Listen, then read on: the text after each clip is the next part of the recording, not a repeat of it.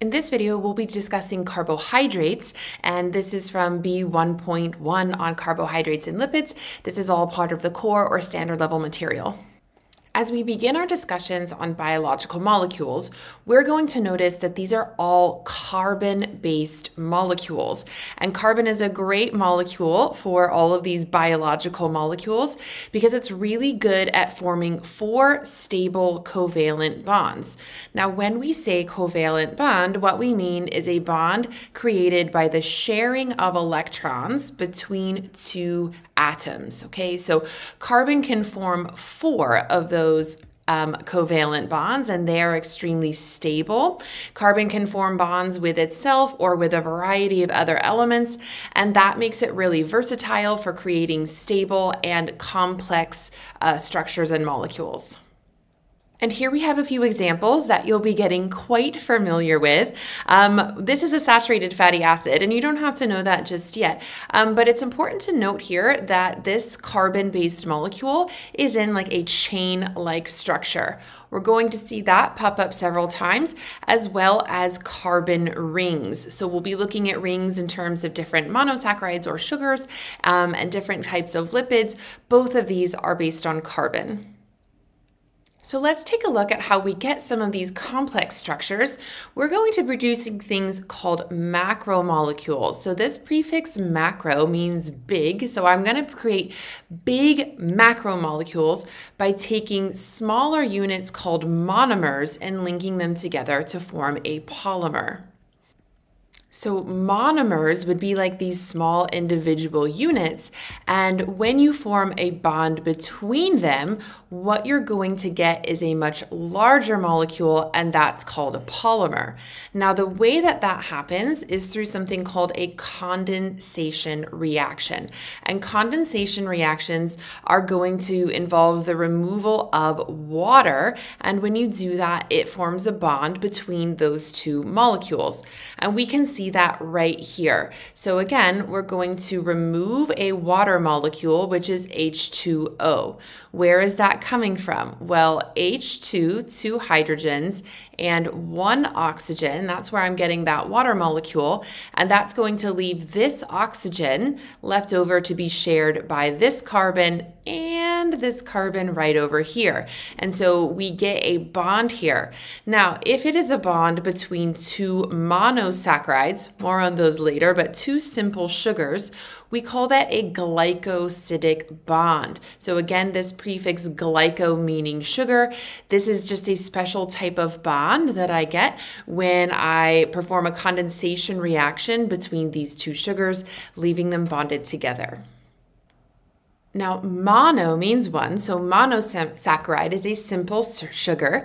A disaccharide, di means two, a disaccharide is two monosaccharides bonded together. So, a great example here is maltose. Maltose is made of two glucose molecules bonded together. Poly means many, saccharide meaning sugar. So this is many sugar molecules, many monosaccharides linked together. And a great example here is a molecule called amylopectin. It's one of the forms of starch. And amylopectin just so happens to be made of monomers of glucose. Glucose is a six carbon sugar, and those carbons can actually be numbered. There's actually an oxygen in this structure right here. So to number the carbons, we number them this way one, two, three, four, five, and the sixth carbon is actually up here. We generally don't draw that in the ring structure. Now, I can form a bond between the first and the fourth carbon of adjacent glucose molecules, and that's going to give me something called a 1 4 linkage. 1 referring to the number 1 carbon here, and 4 referring to the number 4 carbon on the other glucose molecule. And when I do that, that's going to result in these very like linear portions of a molecule.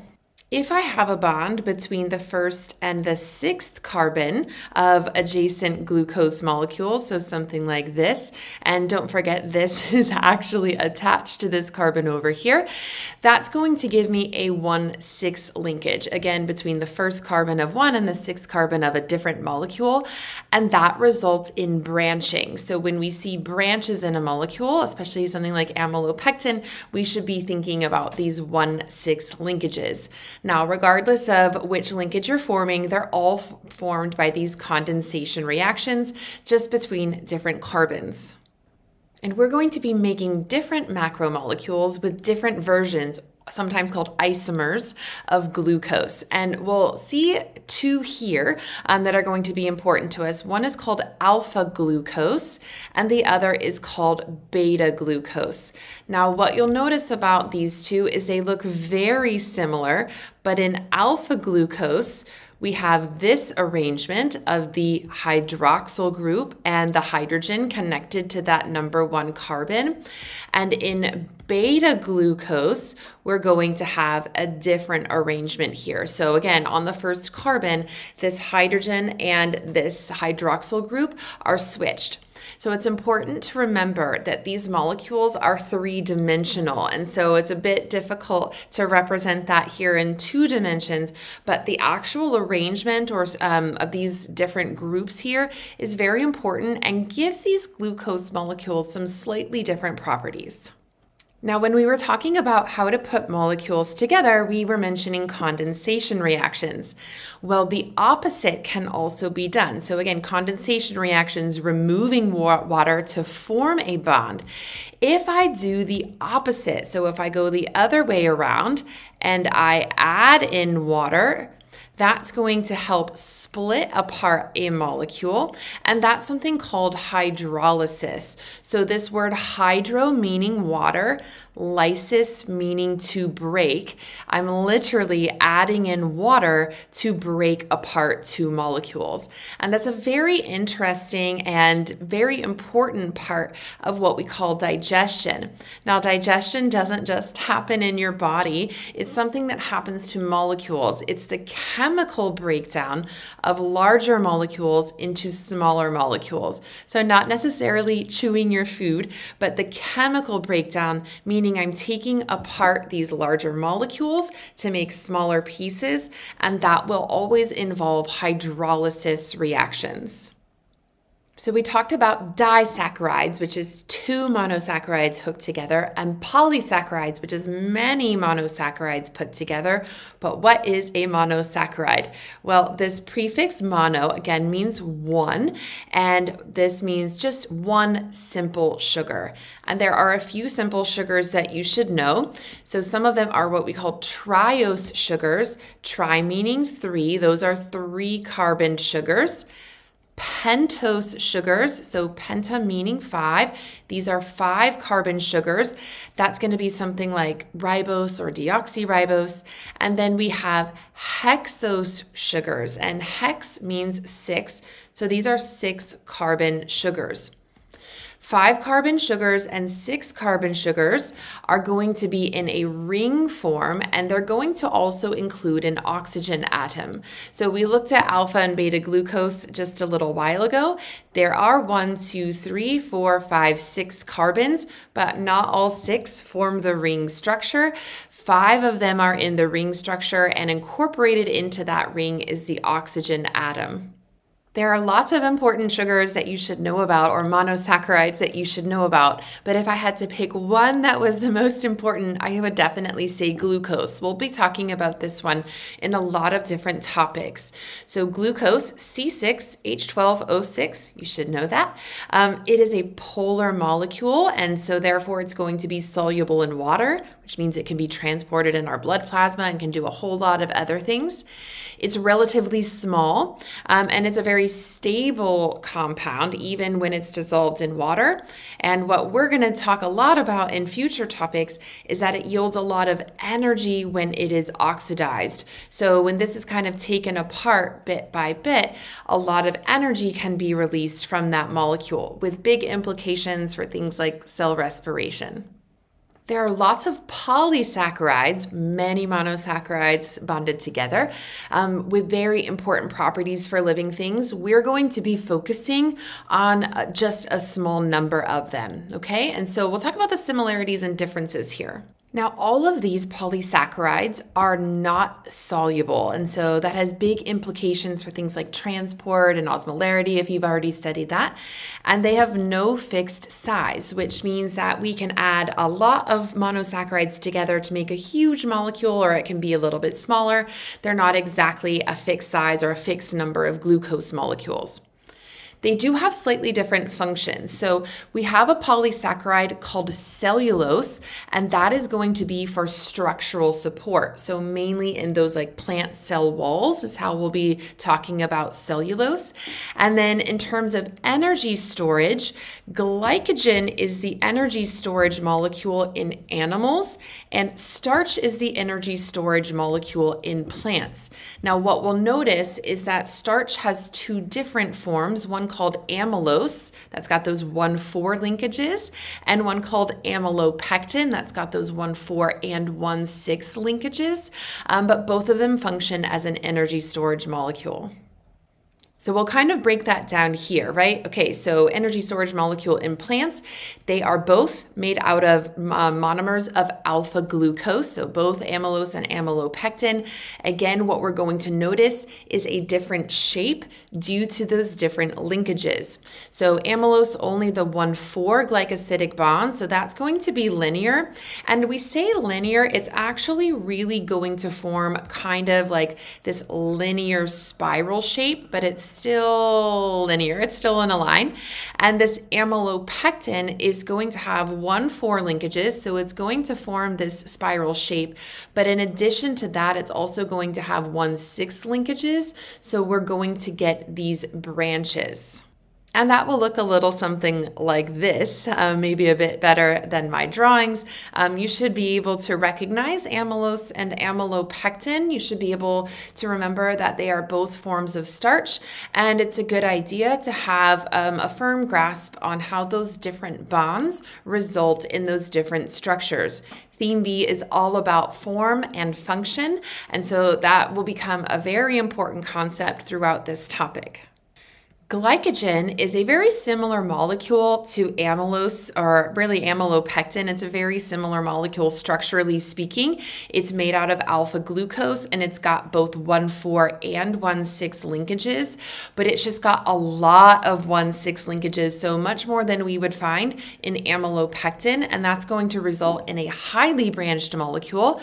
But again, a very similar um, structure and function. This is an energy storage molecule, but not in plants like starch, but rather animals.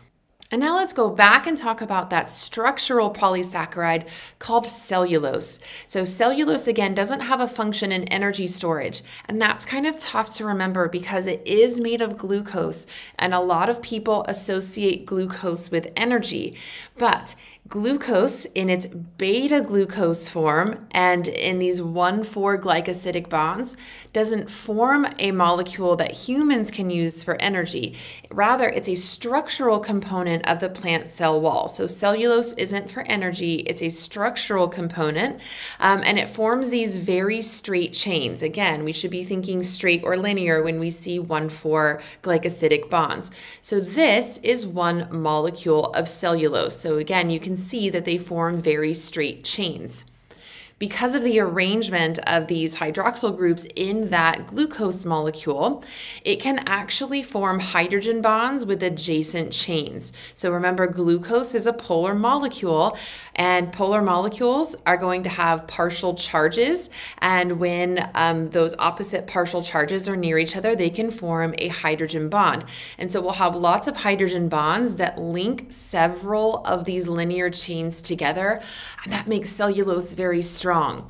Okay, so again, when we think about form and function, we really need this to be strong if it's going to be a structural component of those plant cell walls.